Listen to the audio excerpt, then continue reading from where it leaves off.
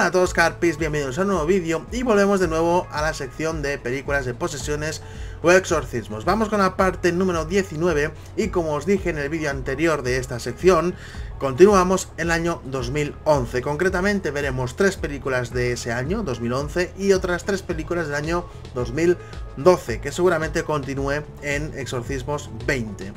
Eh, por mi parte nada más, deciros que hay dos películas en concreto que estoy convencido de que habéis visto o por lo menos conocéis, y el resto, mmm, bueno, quizás una de ellas del 2012 igual sí, pero bueno, eso como siempre en comentarios podéis dejarlo. Ahora sin más, vamos con películas de posesiones o exorcismos 19. Comenzamos.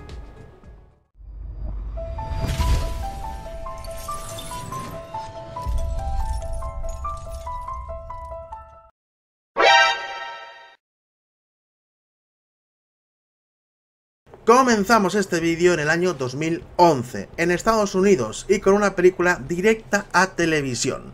Se trata de Possessing Piper Rose, o lo que es lo mismo, La posesión de Piper Rose. Fue dirigida por Kevin Farr, y lo más interesante de la película es que tenemos como protagonista a Rebecca Romijn, que si no sabéis quién es, la conoceréis seguro si digo que fue mística en la trilogía original de X-Men y dicho sea de paso, la mejor mística que tiene la saga. Esta película mezcla el thriller con el terror y el drama. Trata sobre una pareja que está desesperada por adoptar a un niño, pero cuando su sueño se hace realidad, extraños sucesos comienzan a suceder.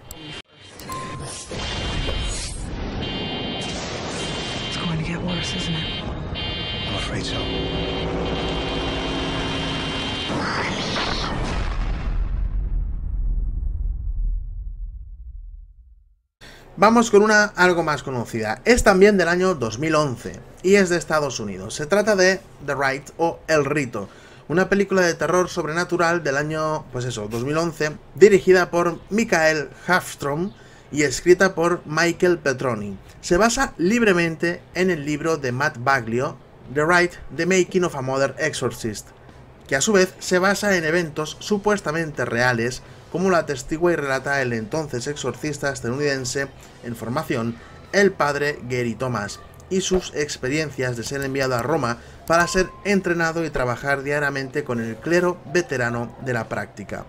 La película está protagonizada por Anthony Hopkins, Colin O'Donoghue, Alice Braga, Ciaran Hines y Roger Hauer.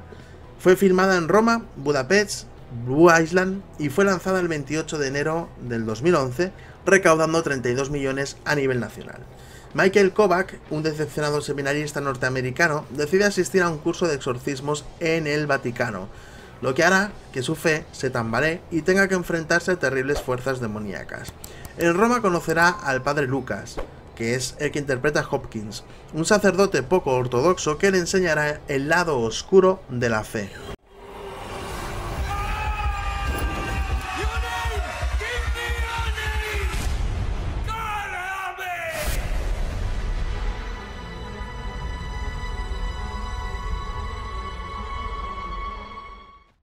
Seguimos en el mismo año y en el mismo lugar. Vamos a hablar de Annalise de Exorcist Tapes o Paranormal Entity 3 de Exorcist Tapes.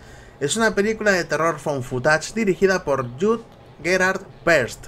Se basa en el exorcismo en la vida real de Annalise Mitchell, una joven que se cree poseída.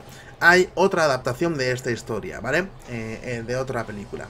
Pero vamos a hablar ahora de esta porque es la que toca. La película fue lanzada directamente a vídeo el 1 de marzo del 2011. Es la versión de Asylum de Paranormal Activity 3 y una de las varias películas basadas en el exorcismo de Annalise Mitchell, incluyendo El exorcismo de Emily Rose y Requiem. La película se estrenó, como hemos dicho, el 1 de marzo en DVD en los Estados Unidos, pero es que además de incluir a la película, o en este caso a la de Annalise, también incluye el vídeo real del exorcismo que se le hizo a esta chica o sea, el, vídeo real en el que se basa la película. En Australia la película recibió el lanzamiento eh, un poquito más tarde, 20 días un poquito más tarde, en septiembre en vez de marzo. En Reino Unido, Anchor Bay Entertainment la lanzó con el nombre de Paranormal Activity 3, como hemos dicho antes, en octubre. Y en Alemania fue lanzada en Blu-ray bajo el nombre Der Exorcismus der Annelies en julio de ese mismo año. Más de 76 exorcismos recibió en vida a Annalise, uno de los casos más espantosos de posesión demoníaca que se hayan registrado nunca. En esta versión con imágenes auténticas de los acontecimientos impactantes que en ese entonces ocurrieron y que inspiraron a la película El exorcismo de Emily Rose. Encima tienen el morro de decir eso.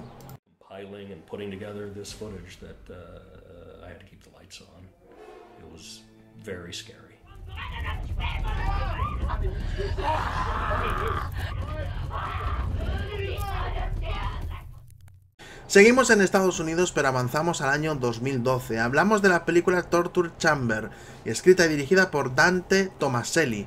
La película es considerada dentro del cine independiente, aunque sus críticas fueron negativas. Torture Chamber o La Cámara de las Torturas, nos cuenta sobre un chico de 13 años poseído por un mal tan poderoso que ningún sacerdote puede exorcizar. El chico regresa a su pueblo natal después de un nuevo intento fallido, donde se dedicará a secuestrar tanto a inocentes como a culpables para arrastrarlos hasta un castillo, donde ha descubierto una cámara de tortura y someterlos así a todo tipo de castigos.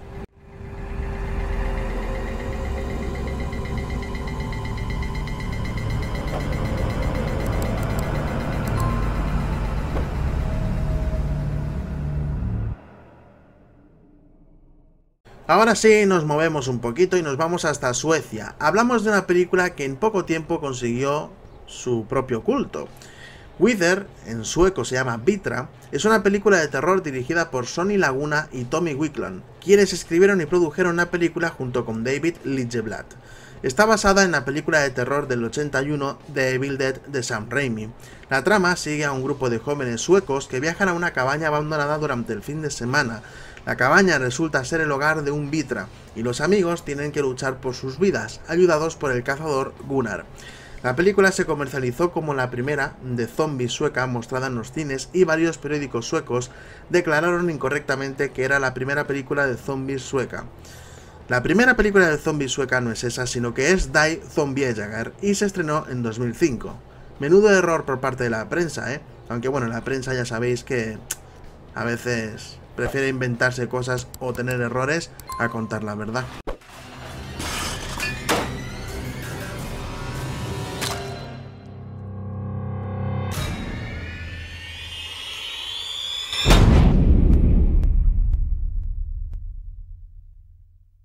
Y volvemos a Estados Unidos para terminar este vídeo y nos quedamos ya en 2012. Hablamos de Mind Games. La historia original fue escrita por Rose McQueen y se estableció en Australia. El director Richard Gray, que vivía en Australia en ese momento, trabajó con McQueen para adaptarlo a un entorno de los Estados Unidos. Gray dijo que estaba más influenciado por El Señor de las Moscas que eh, por las películas slasher. En julio del 2011, Cross y Peck se unieron al elenco y se informó que la película comenzaría a rodarse. La película se rodó en Ape Cave, en el Bosque Nacional Gifford Pinchot y en lugares fuera de Seattle, Washington. Entró en postproducción en Los Ángeles, California para el lanzamiento en 2012. El equipo de la película consistió en una mezcla de australianos y estadounidenses y fue grabada con la cámara Red Epic. Un grupo de jóvenes amigos hacen un descubrimiento incomprensible en una mina abandonada. Algo no sale bien y cuanto más tratan de corregirlo, más sellan su destino.